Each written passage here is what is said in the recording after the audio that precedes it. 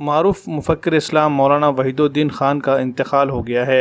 मौलाना के इंतकाल से एक दौर का ख़ात्मा हुआ है। मौलाना ने अपनी सारी ज़िंदगी इस्लाम की तालीमत को आम करने के लिए वफ़ कर दी। इस्लाम के पैगाम को आम करने के लिए सैकड़ों किताबें लिखी। इसके अलावा अल रिसाला के नाम से बाबा एक महाना रिसाला जारी किया, जो ताहयात शाये होता रहा।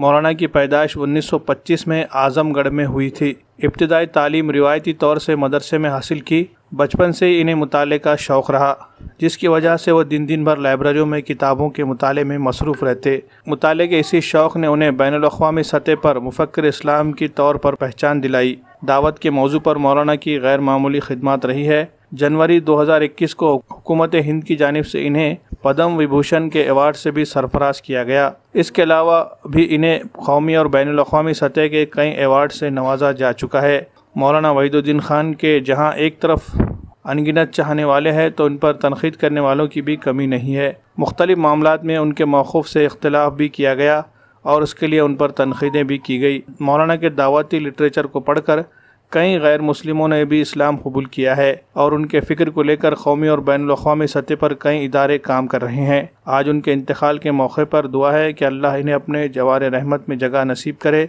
दर्जात को बुलंद करे और पसमानदगान को सब्र जमील अता करे।